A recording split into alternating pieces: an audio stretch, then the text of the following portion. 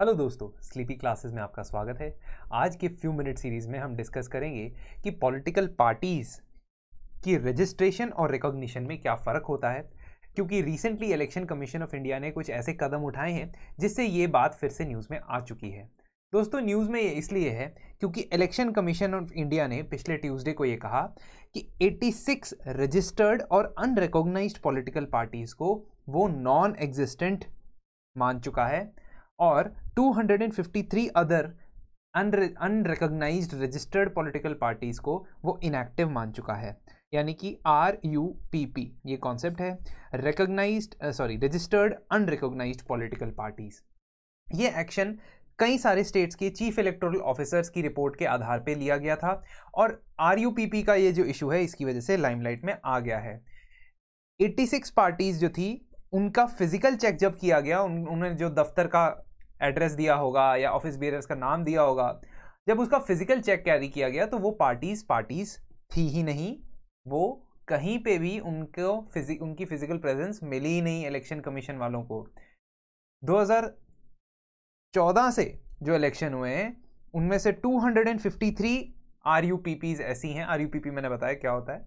जिन्होंने ना तो किसी कम्युनिकेशन का जवाब दिया है इलेक्शन कमीशन के और ना ही 2014 से हुए किसी भी स्टेट इलेक्शन या पार्लियामेंट्री इलेक्शन में पार्टिसिपेट किया है। और 25 मई से जो इलेक्शन कमीशन ने जो ये कैंपेन चलाया, मुहिम चलाया, ऐसी पार्टीज़ को रिकॉग्नाइज करने recognise in the sense find out करने का, वो 537 ऐसी पार्टीज़ उनको मिल चुकी हैं। रीजन बींग कि section 29 A of representation of people act of 1951 इसके आधार पे रजिस्ट्रेशन होती है पॉलिटिकल पार्टीज़ की भारत के अंदर। और हर पॉलिटिकल पार्टी को किसी भी तरीके का नेम का चेंज हेड ऑफ़िस उनके office bearers address PAN card ये कमीशन को प्रोवाइड करना होता है। अगर वो नहीं प्रोवाइड करता है तो कमीशन फिर इंक्वायरी करता है कि भाई साहब, ये असली पॉलिटिकल पार्टी है भी या नहीं? अब दोस्तों रिकॉग्निशन और रजिस्ट्रेशन में क्या फ़र्क है? अगर आपने भारत के अंदर कोई चुनाव लड़ना है तो उसके लिए सबसे पहला कदम आपके लिए ये होगा कि आप इलेक्शन कमीशन ऑफ़ इंडिया के पास जाके अपनी पार्टी को रजिस्टर करवाएँ। और अपनी पार्टी को रजिस्टर करवाने के बाद आप इलेक्शन लड़ें। इलेक्शन में जिस तरीके की आपकी परफॉर्मेंसेज होती हैं, उसके आधार पे आपको रिकॉग्निशन मिलती है है ना? तो रजिस्ट्रेशन पहला स्टेप है और रिकॉग्निशन अगला स्टेप है। रजिस्ट्रेशन जो होती है, वो section 29 A of representation of people act 1951 के तहत होती है। और जो रिजर्वेशन होती है दोस्तों रिकॉग्निशन होती है दोस्तों, वो होती है election symbols reservation and allotment order 1968 के तहत। ये बात आपने याद रखनी है, क्योंकि प्रिलिम्स में कभी आपसे पूछा जा सकता है कि recognition is accorded as per R P A representation of people act जबकि recognition is accorded under election symbols reservation and allotment order जो 1968 के तहत बनाया गया था। अब ये ऑर्डर था तो इसमें कई बार अमेंडमेंट भी होता है। किसी भी तरीके की रिकॉग्निशन जिसको पार्टी को मिलती है, उसको दो टाइप की रिकॉग्निशन मिल सकती है। एक होती है नेशनल पार्टी का स्टेटस मिल जाना और दूसरा होता है स्टेट पार्टी का स्टेटस मिल जाना। अब ये रिजर्वेशन ऑर्डर जो है एलोकेशन ऑर्डर जो है, इसके अंदर रिसेंटली बदलाव लाया गया था, जिसमें इलेक्शन कमीशन ने यह कहा कि हर 10 साल के बाद every 10 years we will review the status of national and state parties तो हर 10 साल बाद एक रिव्यू किया जाएगा और उसमें घोषित किया जाएगा कि कौन सी पार्टी नेशनल पार्टी का स्टेटस रख सकती है और कौन सी स्टेट पार्टी का स्टेटस रख सकती है।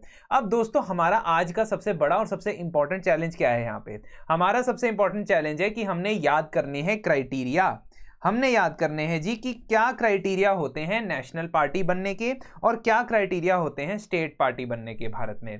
तो नेशनल पार्टी का आसान होता है याद रखना, इसमें तीन ही क्राइटेरिया हैं तो तीन फटाफट हम याद रख लेंगे। सबसे पहला क्राइटेरिया जो आप याद रख लोगे, बहुत आसान है। चार या चार से ज़्यादा स्टेट्स में अगर आपकी पार्टी स्टेट पार्टी घोषित हो जाती है स्टेट पार्टी डिक्लेयर हो जाती है तो आपको नेशनल पार्टी का खिताब मिल जाएगा इलेक्शन कमीशन ऑफ़ इंडिया की वजह से। मैं ये भी बताऊँगा कि ये खिताब चाहिए क्यों पार्टीज़ को रिकॉग्निशन चाहिए क्यों? रजिस्ट्रेशन करवा के काम क्यों नहीं चला लेते?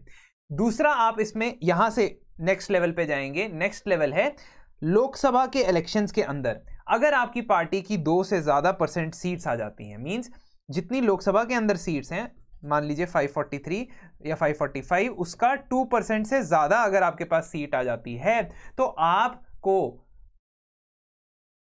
पहला कदम आपका नेशनल पार्टी बनने की तरफ़ हो जाएगा। लेकिन प्लस, उसमें तीन से ज़्यादा स्टेट से आपको ये सीटें आनी चाहिए। मतलब मान लीजिए आंध्र प्रदेश से, वेस्ट बंगाल से और बिहार से आपको टोटल कम से कम तीन स्टेट से मिला के ये टू परसेंट बनना चाहिए। ये दोनों कंडीशंस अगर फॉलो होती हैं दोस्तों, तब आप क्या कर सकते हो? नेशनल पार्टी बन सकते हो। दो और तीन का खेल है। दो, तीन और चार। कैसे याद किया हमने? चार स्टेट्स में सबसे ज़्यादा आपके पास आप अगर चार स्टेट्स में रिकॉग्नाइज स्टेट पार्टी बन जाते हो तब ठीक है। दो और तीन का क्या खेल है? दो परसेंट सीट्स और तीन स्टेट्स में से आपको आना है। अब आखिरी जो क्राइटेरिया है, उसकी तरफ़ बढ़ते हैं। आखिरी क्राइटेरिया में दो कंपोनेंट है। क्या कंपोनेंट लोकसभा इलेक्शन का भी कंपोनेंट है और लेजिस्लेटिव असेंबली इलेक्शन का भी कंपोनेंट है। तो लोकसभा इलेक्शंस के अंदर या असेंबली इलेक्शंस के अंदर अगर आपके पास छह परसेंट वोट्स आ जाते हैं वोट्स की बात हो रही है पिछले क्राइटेरिया में किसकी बात हो रही थी? सीटों की बात हो रही थी। तो दो प्रतिशत सीटें तीन से ज़्यादा स्टेट्स में मिल जाएँ लोकसभा की तो आप बन गए, क्या बन गए? National party. फिर हम बात करते हैं वोट्स की। अगर वोट्स छह प्रतिशत से ज़्यादा या छह प्रतिशत आपको मिल गए चार स्टेट्स के अंदर चाहे वो लोकसभा इलेक्शन हो, चाहे वो स्टेट असेंबली के इलेक्शन हो। तो तीसरा क्राइटेरिया जो है, Lok Sabha plus state assembly election का क्राइटेरिया है। दूसरा क्राइटेरिया जो हमने पढ़ा था, वो लोकसभा इलेक्शन का क्राइटेरिया था। तो पहली बात क्या हुई कि छह परसेंट आपको वैलिड वोट्स मिल गए और दूसरी बात क्या हुई कि आपको चार स्टेट्स में से ये वोट मिले हैं। और आखिरी बात क्या हुई कि आपके पास लोकसभा में कम से कम चार सीटें होनी चाहिए। तो ये जो कॉम्बो है ना, जैसे आप रेस्टोरेंट में जाते हो, आपको कॉम्बो भी मिलता है ना? जोमेटो पे ऑर्डर करते हो, वैसा ही ये कॉम्बो है। ये कॉम्बो किस चीज़ का है? ये कॉम्बो वोट्स का भी है, ये कॉम्बो सीट्स का भी है। तो चार सीटें लोकसभा में मुझे चाहिए, तब मैं नेशनल पार्टी बन सकता हूँ, लेकिन सिर्फ़ उतने से नहीं होगा। मुझे छह प्रतिशत से ज़्यादा वोट्स भी चाहिए यहाँ पे। टोटल नंबर ऑफ़ वोट्स का छह प्रतिशत से ज़्यादा चाहिए, और ये छह प्रतिशत वोट जो है, वो चार स्टेट्स में से पड़नी चाहिए। ठीक है? तो ये बाउंड्रीज एंड सिक्सेस में डील कर रहे हैं, जैसे क्रिकेट के अंदर डील किया जाता है। तो कुछ इसी तरीके से आपने समझना है, क्या six percent of the votes चार स्टेट्स में से और चार से ज़्यादा सीट्स लोकसभा के अंदर। आप बन गए नेशनल पार्टी तो नेशनल पार्टी के क्राइटेरिया आसान है, तीन ही है, बहुत इजी याद रखने हैं। आप चार से ज़्यादा स्टेट्स में नेशनल स्टेट पार्टी बन जाओ। आपको लोकसभा में तीन स्टेट्स में से दो प्रतिशत सीटें मिल जाएँ और फिर आपको वोट्स और सीट्स का कॉम्बो बनाना है। वोट्स का सीट्स का कैसे कॉम्बो बनेगा? छः प्रतिशत आपको वोट चाहिए सीट्स आपको चार चाहिए और ये चार स्टेट में से चाहिए। बन गया नेशनल पार्टी फिर आते हैं स्टेट पार्टीज़ के ऊपर। अब दोस्तों स्टेट पार्टीज़ का क्राइटेरिया थोड़ा सा टेढ़ा मेढ़ा है, लेकिन हम इसको समझने की कोशिश करेंगे। अगर हम तीन चार बार इसको पढ़ेंगे और एग्ज़ाम से पहले भी एक बार पढ़ लेंगे तो हमें याद रहेगा। और जनरली इतना भी रटने की ज़रूरत नहीं है कि एग्जैक्ट पता हो लेकिन आपको ऑप्शन एलिमिनेट करने आने चाहिए, क्योंकि प्रिलिम्स में ये पूछा जा सकता है। अब आप स्टेट पार्टी कब बन सकते हो? सबसे पहले तो नीचे यहाँ से स्टार्ट करते हैं, काफ़ी आसान। क्या आपको लोकसभा इलेक्शन या लेजिस्लेटिव असेंबली के इलेक्शन में ना आठ परसेंट अगर वोट मिल गए बस आप बन गए स्टेट पार्टी। ठीक है? सिर्फ़ इतना ही करना है। आठ परसेंट अगर टोटल नंबर ऑफ़ वोट्स का आपको लोकसभा या असेंबली के इलेक्शन में मिल गया, आप स्टेट पार्टी बन गए। दूसरा, आपको लोकसभा के अंदर वन ट्वेंटी फिफ्थ सीटें मिल गई एक स्टेट में से भी। वन ट्वेंटी फिफ्थ मतलब a one by twenty five काफ़ी लिबरल बात है। मतलब मान लो कि अगर किसी स्टेट की 25 सीटें हैं लोकसभा में तो 25 में से एक भी सीट आपको मिल गई, आप स्टेट पार्टी बन जाओ। तो one by twenty fifth seat और एट परसेंट। बहुत आसान है। फिर अब आ जाते हैं थोड़े से तीन मुश्किल क्राइटेरिया के ऊपर। मुश्किल क्राइटेरिया है, पहला क्राइटेरिया है सीटों को लेके। तो अगर आपको असेंबली के अंदर तीन प्रतिशत सीटें या तीन सीटें मिल जाएँ, इनमें से जो भी ज़्यादा हो, ठीक है? तीन प्रतिशत सीटें, मान लीजिए दस सीटें हैं तो तीन प्रतिशत कितना हुआ? तीन सीटें। तो तीन सीटें मिल गई। तो आपको उस स्टेट में स्टेट पार्टी का खिताब मिल जाएगा।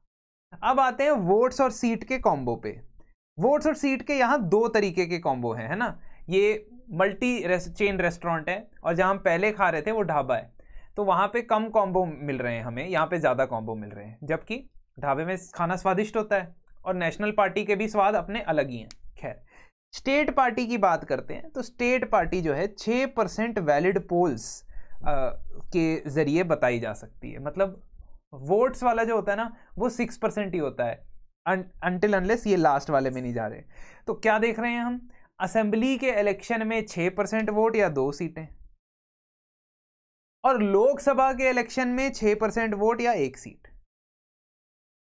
ठीक है? तो असेंबली के इलेक्शन में मुश्किल रखा है, दो सीटें। लोकसभा के लिए एक सीट भी मुश्किल होती है तो एक सीट। वोट छः परसेंट तो वोट और सीट का ये दो कॉम्बो होते हैं, कहाँ पे? स्टेट के अंदर। छः, दो, छः, एक। ऐसे अभी रॉजर फेडर साहब जो रिटायर हुए हैं टेनिस के मैच की तरह स्कोर दिख रहा है आपको ये। छः, दो, छ, एक। बाद में तीन तीन one by twenty five and eight percent रटना है तो रट्टा मार लो, क्योंकि ये आगे जाके आपको भूल जाएगा। तो फिर लेकिन दोबारा इस स्लाइड को देखोगे, दोबारा यहाँ से रट लोगे। कहने का मतलब कि स्टेट और नेशनल पार्टी का क्लियर कट क्राइटेरिया जो election symbol reservation allotment order में लिखा है। इस वक्त भारत के अंदर आठ नेशनल पार्टीज़ मौजूद हैं। ठीक है? BJP Indian National Congress Communist Party of India Marxist Communist Party of India without being Marxist अलग से। फिर Bahujan Samaj Party BSP NCP Nationalist Congress Party All India Trinamool Congress और एनपीपी नेशनल पीपल्स पार्टी तो अब हो सकता है 2016 में आखिरी बार सॉरी 2018 में आखिरी बार ये रिव्यू किया गया था तो अब आगे जाके इसका रिव्यू होगा 10 साल के बाद, क्योंकि ऐसा कहा गया था। तो जब ये रिव्यू होगा, तब हो सकता है कई पार्टीज़ नेशनल पार्टी की लिस्ट से बाहर हो जाएँ। ठीक है, अब अब हो सकता है कि अगर आप अभी के कैलकुलेशन के हिसाब से देखो तो maybe some of these parties are not national parties but वो डिक्लेयर कब होगा? जब इलेक्शन कमीशन इसका रिव्यू करेगा, आप नहीं। तो रिकोगनाइज पॉलिटिकल पार्टीज़ का क्या फ़ायदा होता है दोस्तों? सबसे पहले तो रिकोगनिशन अगर आपको मिल जाती है तो इसका सिंबल पे सबसे बड़ा असर पड़ता है। आपकी पार्टी का सिंबल किसी भी इलेक्शन में कोई भी और इस्तेमाल नहीं कर सकता है, जबकि रजिस्टर्ड पार्टीज़ को का जो सिंबल होता है, वो अलग अलग स्टेट्स के अंदर कोई कोई उस तरीके का सिंबल या उसका कॉपीड सिंबल भी इस्तेमाल कर सकता है। दूसरी चीज़, अगर आप स्टेट और नेशनल पार्टी के कैंडिडेट हैं, उम्मीदवार है तो आपको बस अपने साथ एक बंदा साथ में ले जाना होता है नॉमिनेशन फ़ाइल करने के लिए। In the case of recognized political parties you have to take just one proposal to file nomination जबकि रजिस्टर्ड पार्टी वाले कैंडिडेट को ज़्यादा बंदे लेके जाने पड़ते हैं। तीसरी चीज़ रिकोगनाइज स्टेट और नेशनल पार्टीज़ को इलेक्टोरल रोल्स यानी कि जो लिस्ट होती है वोटर्स की, उसके दो सेट फ्री में दे दिए जाते हैं। और इसके साथ साथ जो नेशनल पार्टी या स्टेट पार्टी की तरफ़ से इलेक्शन लड़ रहा होता है, उस कैंडिडेट को भी एक कॉपी दे दी जाती है। तो इलेक्टोरल रोल्स यानी कि जहाँ पे वो आपकी वोटर की लिस्ट होती है ना, उस कॉन्स्टिट्युएंसी के अंदर, वो free of cost election commission उनको दे देता है। उससे क्या हो सकता है, उससे आप प्रॉस्पेक्टिंग कर सकते हो, देख सकते हो। ये नहीं देख सकते कि कौन किसको वोट दे रहा है, वो नहीं पता लगेगा होपफुली लेकिन आप प्रॉस्पेक्टिंग कर सकते हो अपने एरिया के अंदर कैनवेसिंग कर सकते हो डोर टू डोर जा सकते हो। दूस नेक्स्ट चीज़ है नेशनल पार्टीज़ जो होती हैं नेशनल पार्टीज़ जो होती हैं, उनको लैंड और बिल्डिंग्स मिलती है गवर्नमेंट की तरफ़ से अपना पार्टी दफ्तर बनाने के लिए। तो ये एग्जामेशन हैं, तभी रिकोगनाइज पार्टी बनना एक फ़ायदे की बात होती है। एक और फ़ायदे की बात यह है कि नेशनल पार्टीज़ को 40 स्टार कैंपेनर्स मिलते हैं, जबकि बाकी पार्टीज़ को 20 स्टार कैंपेनर मिलते हैं। स्टार कैंपेनर मिलते हैं ऐसे मतलब वो 40 स्टार कैंपेनर इलेक्शन के दौरान उतार सकते हैं। अब ये कैंपेनर कौन होते हैं? ये कैंपेनर वो कैंपेनर हैं जिनके ऊपर या जिनकी ट्रैवलिंग और अदर एक्सपेंसेस का जो खर्चा है एक्सपेंडिचर है, वो कैंडिडेट के एक्सपेंडिचर लिमिट में ऐड नहीं होता। दोस्तों, हमारा रिप्रेजेंटेशन ऑफ़ पीपल्स एक्ट ये कहता है कि कैंडिडेट्स के एक्सपेंडिचर की वो इलेक्शन के दौरान कितना खर्चा करेंगे, उस पर लिमिट लगी होती है। और वो असेंबली इलेक्शन के लिए अलग होती है और लोकसभा इलेक्शन के लिए अलग होती है। तो ये जो कैलकुलेशन की जाती है, अगर उसकी लिमिट से वो ज़्यादा खर्चा कर देता है तो इसकी डिक्लेरेशन उसे इलेक्शन कमीशन को करनी पड़ती है। लेकिन जो स्टार कैंपेनर के ऊपर खर्चा किया जाता है कैंपेनर मतलब जो प्रचार कर रहा है चुनाव का। उसके ऊपर जो खर्चा होता है ना दोस्तों, वो ऐड ही नहीं होता इस एक्सपेंडिचर में तो इसका मतलब वो एक्सपेंडिचर लिमिट से एग्जेम्प्ट रहता है। बहुत ही इंपॉर्टेंट पार्ट है ये नेशनल पार्टी बनने का। ऑल्सो नेशनल और स्टेट टीवी और रेडियो पे नेशनल पार्टीज़ को ये फ़ायदा मिलता है कि उनको टाइम स्लॉट्स मिलते हैं। खैर अब तो सोशल मीडिया का ज़माना है तो बहुत सारी कैंपेनिंग जो है वो अब यहाँ से हट चुकी है। लेकिन फिर भी स्टेट टीवी और रेडियो के ऊपर टाइम स्लॉट्स मिलना, वो भी फ्री में, ये बहुत ज़्यादा इंपॉर्टेंट बात बन जाती है। अब बात करते हैं रजिस्टर्ड अनरिकग्नाइज पॉलिटिकल पार्टीज़ की तो आरयूपीपी वो पार्टीज़ होती हैं, जो या तो अभी अभी रजिस्टर हुई हैं और कोई चुनाव नहीं लड़ा, और या तो उन्होंने चुनाव लड़ा है, लेकिन उनकी परफॉर्मेंस इतनी बुरी रही है कि वो उनमें से कोई भी क्राइटेरिया फॉलो नहीं कर पाए, जो उनको नेशनल या स्टेट पार्टी बनाए। ये पार्टीज़ के पास वो सभी बेनिफिट्स नहीं होते जो हमने ऊपर डिस्कस किए हैं। These parties won't have these all these benefits and registration जो किया जाता है वो 1951 के रिप्रेजेंटेशन ऑफ़ पीपल एक्ट यानी कि उसके सेक्शन 29 ए के तहत किया जाता है। अब धीरे धीरे जो पार्टीज़ सिर्फ़ और सिर्फ़ पेपर पे थी रजिस्टर हुई थी, वो इलेक्शन कमीशन उनको आइडेंटिफाई करने की कोशिश कर रहा है। एक और चीज़ ध्यान रखनी है इलेक्शन कमीशन के पास पावर्स नहीं दी गई है to deregister a political party तो वो सिर्फ़ उनको लिस्ट बनाता है कि हाँ ये जो है वो मिसिंग uh, है मतलब सबसे पहले स्लाइड में हमने देखा ना कि these are inactive and these are non existent but they will not be deregistered because that part is not there in the law और कई बार इलेक्शन कमीशन ने कहा है कि हमको ये पावर दे दिया करो कि डी रजिस्टर कर दें किसी पॉलिटिकल पार्टी को. तो वो चीज़ जो है अभी आ, सामने आई है। डी रिकॉग्नाइज तो आप कर सकते हो पार्टी को, क्योंकि वो क्राइटेरिया दिया हुआ है है ना?